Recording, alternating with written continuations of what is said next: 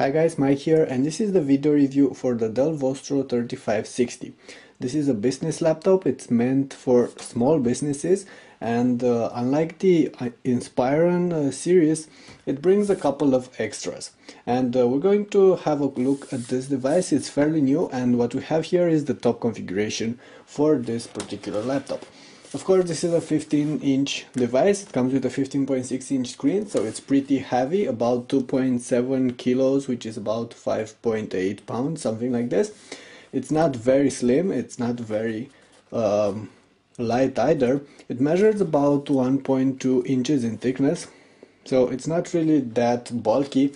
It's not really slim either. Uh, the exterior is uh, covered in aluminum, so there's an, a brushed aluminum uh, plating. Over here you have the Dell logo on it and there's also a lot of made plastic. Uh, this uh, gray areas they're made from this smooth rubbery plastic here and uh, on this uh, front side of the lid cover. And um, on the back you still have the plastic. It's not really the most beautiful finishing here with this uh, aluminum uh, silver sides and the plastic black black uh, black middle. But at least you can remove this panel. It's quite easy to remove it and you're going to get access to the internals. You have the speakers here. There's one on each side one here one over here and the battery over here on the back. It's a 48 watt hour battery a 6 cell battery. It's gonna push this laptop for about two hours. Now let's have a quick look at the sides and what we have here. On this part you have the PSU you have the VGA output the cooling grid HDMI, HDMI two USB ports microphone and headphone. And on the front notice that the front is covered in the same smooth plastic and it feels nice and it, it looks quite solid. You have the status LEDs over here. You have the SD card reader here. And on this other side uh, we have an express slot card over here. The optical unit, unit which in this case it's a DVD writer you have another two USBs and the LAN adapter. And it's quite uh, nice that on this part all the ports are placed towards the bottom which means that um, if you're going to use a mouse you can place it place the computer on the desk and you can have a mouse here in this part on the right which is actually quite interesting. Opening the lid you'll also notice that the interior is made from the same gray plastic. It's rubbery like I said. It feels very good and it won't catch fingerprints or smudges. There's a vast uh, palm rest over here and uh, the same finish is used for the screen's bezel. Talking about the screen, we have a 15.6 inch panel here with uh, a matte finish, so it's a non-glare screen and then a very nice resolution.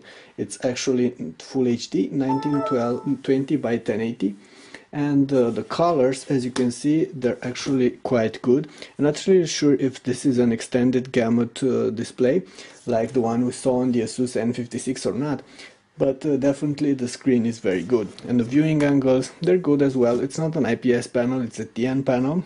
So if you're going to lean it on the back you're going to see the colors fading but uh, overall it's quite a very good screen. Now let's focus a bit on the keyboard. And uh, you notice that uh, we don't have a numpad but uh, because of that there's plenty of space to put this big keyboard here big keys properly spaced. And of course uh, you have a proper size enter over here proper size arrow keys proper size shift as well over here and uh, overall the keys are quite uh, quite good. It, this is not a backlit keyboard but there is an option for a backlit keyboard as well. You're going to notice that it's very quiet and there's very little flex when placing it even here in the middle. Uh, overall the keyboard is accurate and uh, even the space is one of the best I've seen so far. As for the trackpad, it's wide. You can see that we have plenty of space here for multi-touch gestures, which uh, aren't always working, but uh, overall it's uh, it's quite accurate and it's smooth. And you have dedicated click buttons, which is something I like.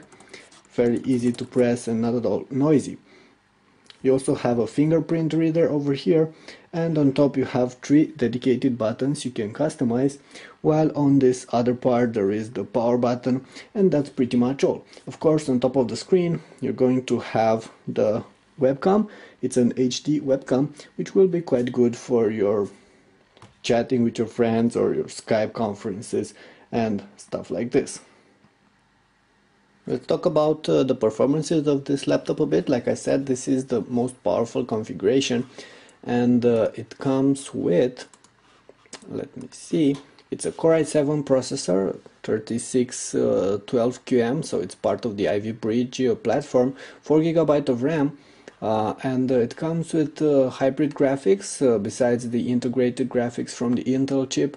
You also get AMD 7670 uh, chip, which is not really a very powerful uh, graphic uh, card that's comparable to the NVIDIA 630, so it's pretty much mainstream chip.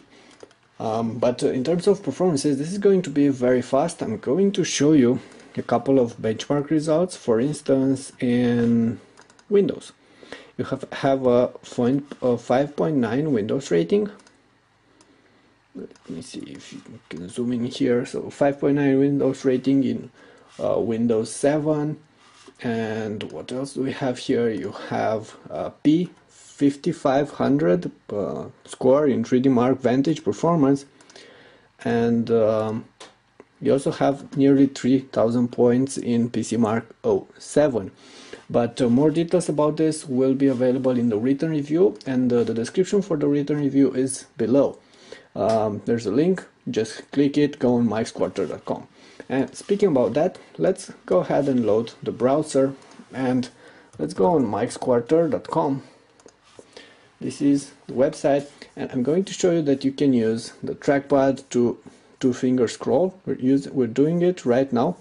Unfortunately, two finger pinch to zoom doesn't seem to be working, but uh, still this is a very good trackpad You can see that I'm moving the cursor around and it's very accurate. And overall the computer is going to be very fast. YouTube it's it's not going to be a problem. And of course if you want to uh, I don't know watch a bunch of different types of clips we have here the this the 40 megabits 1080p MKV and it should be uh, able to play this without problem. Okay so it's working and let's go ahead and turn on the speakers as well. And once again going to notice the viewing angles.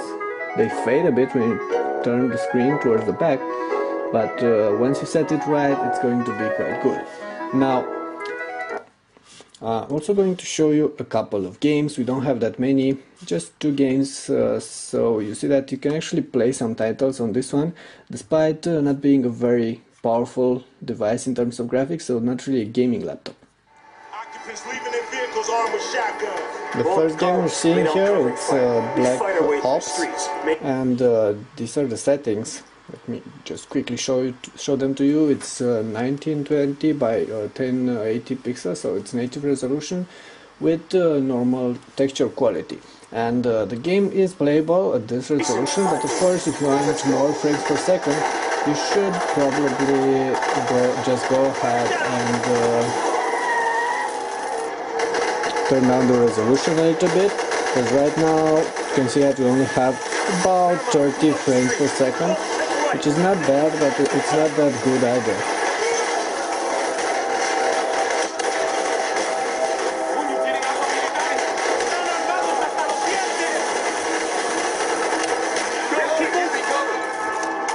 So the game is playable. Got about about 20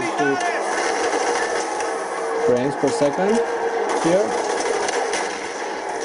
Which is actually quite good. Okay, so that was the first game. I'm going to show you another one. You hear that? That's the cooling system, but we're going to talk about it uh, in just a couple of seconds. The second game we're trying here, it's Dirt 3 and we're once again on the full HD resolution with details set to medium and uh, the game is once again playable you can see that we have an average of up to 30 frames per second which is actually quite uh, quite good and uh, we have a very smooth game over here. So bottom point, while this uh, laptop is not really meant for gaming, it uh, will be able to uh, run some of the basic titles and uh, for the newer one you might still be able to play them as long as uh, you're going to trim down the details and the resolution. You probably noticed that during uh, our games, but you're going to uh, hear it now as well. This computer has quite uh, quite some noisy fans, and uh, because of that, uh, your experience might not be that pleasant. Um, when playing games or running other uh, intensive applications, uh, the cooling fans will be loud and even so this part over here and especially the part uh, beneath where the cooling grid is placed will get quite hot. The good news is that the palm rest and even the keyboard area won't really get that hot. This part will get a bit warm when playing games, but it's not uh, really something you would be bothered of. Uh, one more thing, uh, one more thing I wanted to to say here.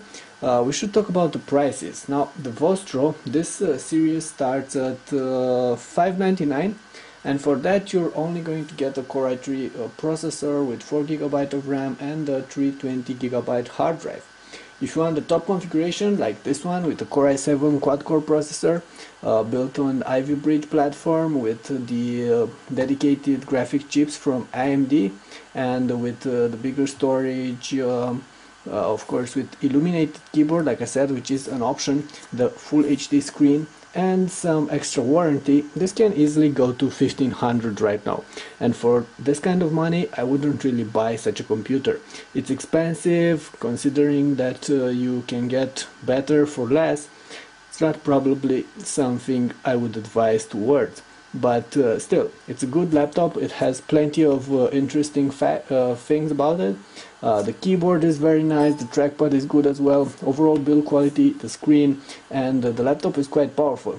The only issues I have with it the cloud cooling fan and of course the price tag.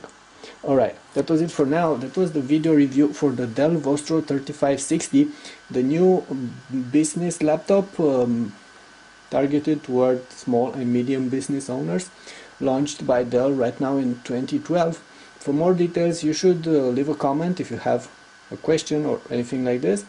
And of course uh, go on the site on mikesquarter.com in the description below there is a link towards the written review. Go there read what uh, read the review and post your comments if you have any on this laptop or on any others. Okay, that is for now. That was the video review for the Dell Vostro 3560. Uh, don't forget to press thumbs up and subscribe to our channel if you like what we're doing here. Thanks.